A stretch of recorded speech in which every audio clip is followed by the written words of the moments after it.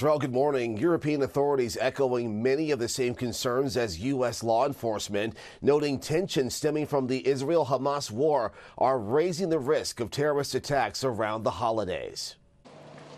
This morning, Europe on alert.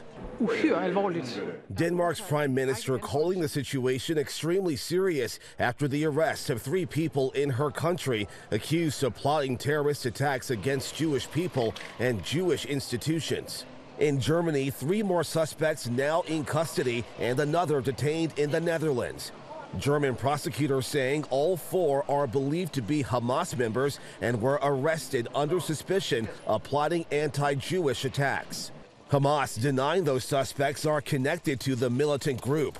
European authorities saying they're now staying hyper vigilant as the Israel Hamas war stokes tensions. FBI Director Christopher Wray saying the U.S. is at its highest threat level since before 9 11. We're working around the clock to identify and disrupt potential attacks by those inspired by Hamas's horrific terrorist attacks in Israel. Back in Tel Aviv, Israeli Prime Minister Netanyahu meeting with U.S. National Security Advisor Jake Sullivan. Thank you for your support. As the death toll across Gaza grows, the White House says Sullivan is urging Israel to pursue what it calls a lower intensity operation and scale back its most intense fighting.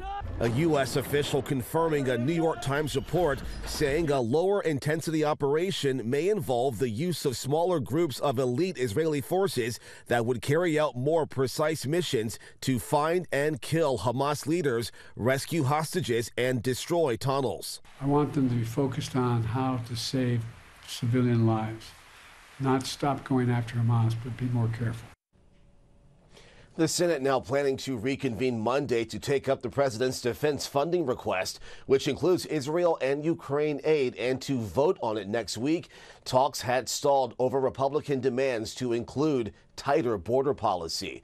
Watch breaking news on YouTube. Subscribe to ABC7 Chicago Eyewitness News.